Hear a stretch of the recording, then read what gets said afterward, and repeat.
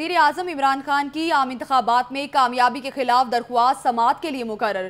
Justice Shahid Waheed آج Lahore high court میں درخواست پر سماعت کریں گے۔ آپ کو اپڈیٹ کرتے چلے وزیر اعظم عمران خان کی عام انتخابات میں کامیابی کے خلاف درخواست سماعت کے لیے مقرر کر لی گئی ہے۔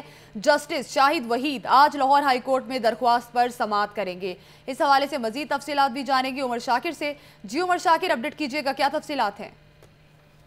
جی وزیر اعظم عمران خان کے حلقہ این اے پچانوے میاں والی میں انتخابی عذرداری کو لاہور ہائی کورٹ میں چیلنج کیا گیا تھا۔ یہ درخواست سماعت کے لیے مقرر کر لی گئی ہیں۔ لاہور ہائی کورٹ کے جسٹس شاہد وحید آج درخواست پر ابتدائی سماعت کریں گے۔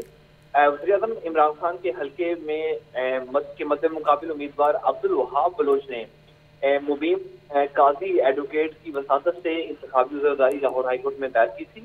جس میں عمران خان کی این اے پچانوے میاں والی سے کامیابی کو چیلنج کیا گیا تھا۔ انتخابی عزرداری میں عمران خان کے کاغذات نامزدگی اور ان کے انتخابات لڑنے پر اعتراضات اٹھائے گئے تھے۔ درخواست موقع سے اختیار کیا گیا ہے کہ عمران خان نے اپنے کاغذات نامزدگی میں اپنے بچوں کے بارے میں تمام تر معلومات فراہم نہیں کی، جبکہ وکیل نے یہ موقع اختیار کیا ہے کہ عمران خان نے الیکشن ایکٹ دو ہزار سترہ پر عمل درآمد نہیں کیا۔ اس درخواست میں سزا کی گئی ہے کہ عدالت عمران خان کے انتخاب کو کلعدم قرار دے۔ اور این اے پچانوے میں دوبارہ انتخاب کرانے کا حکم دے۔ یہ درخواست ابتدائی سماعت کے لیے منظور کی گئی ہے، جس کی سماعت آج تقریباً سوا نو بجے لاہور ہائی کورٹ کے جسٹس شاہد وحید کریں گے۔ جی۔ ٹھیک ہے۔ بہت شکریہ عمر شاکر آپ کا